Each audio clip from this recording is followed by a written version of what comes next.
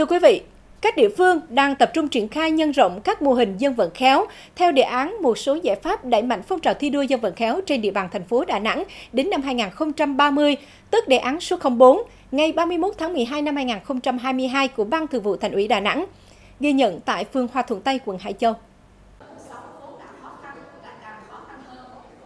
Mô hình 10.000 vạn yêu thương và mô hình phân loại và thu gom rác thải tái chế, xây dựng quỹ an sinh xã hội được phường Hòa Thuận Tây triển khai nhân rộng. Vừa qua, Ủy ban Mặt trận Tổ quốc Việt Nam phường Hòa Thuận Tây đã tổ chức hội nghị phát động mô hình 10.000 vạn yêu thương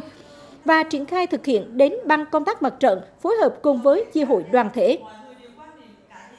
Và cái bước đầu mình sẽ thực hiện là vận động trong cán bộ cơ quan phường thông qua công đoàn phường trong các uh,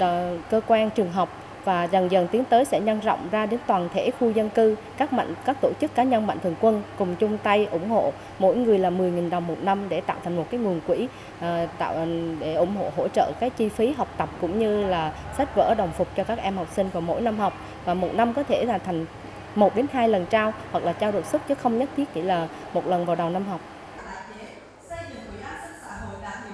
Mô hình nhằm giảm tỷ lệ học sinh bỏ học, giảm nguy cơ các em trở thành thanh thiếu niên hư vi phạm pháp luật. Toàn thể cán bộ và nhân dân trên địa bàn đã tích cực hưởng ứng, đóng góp, chung tay thực hiện mô hình. Một người sẽ lan tỏa ra nhiều người và nhiều người cái số tiền đó không phải là nhỏ. Đối với chúng ta mỗi người thì thấy nhỏ nhưng cả một cộng đồng thì rất là lớn. Số tiền đó lớn lên chúng ta hỗ trợ cho các cháu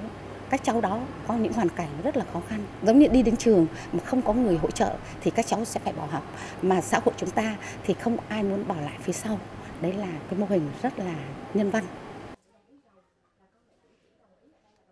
Em Lê Trần Thúy Hiền, quê ở tỉnh Gia Lai, là một trong số các em học sinh giỏi có hoàn cảnh khó khăn, được nhận hỗ trợ từ mô hình 10.000 vạn yêu thương. Hiện em Thúy Hiền và mẹ đang sinh sống tại một căn phòng trọ trên địa bàn phường. Thời gian qua, em cũng nhận được nhiều sự quan tâm hỗ trợ về khuyến học, khuyến tài từ khu dân cư.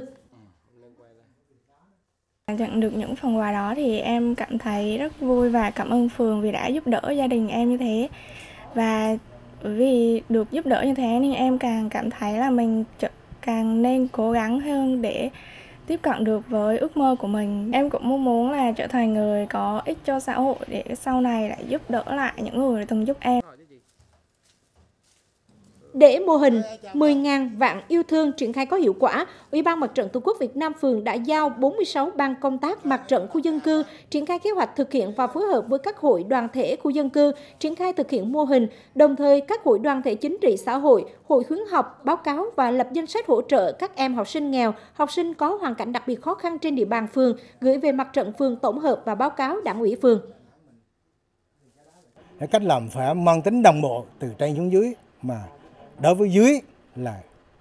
cái cánh tay nối dài của chính quyền địa phương, là tay mắt của chính quyền địa phương phát hiện, phản ảnh giải quyết kịp thời với phương châm không để một ai bất kỳ vì khó khăn mà không thể đến trường, Mô hình sẽ được Ủy ban Mặt trận Tổ quốc Việt Nam phường Hòa Thuận Tây triển khai từ tháng 6 năm 2023 đến năm 2025.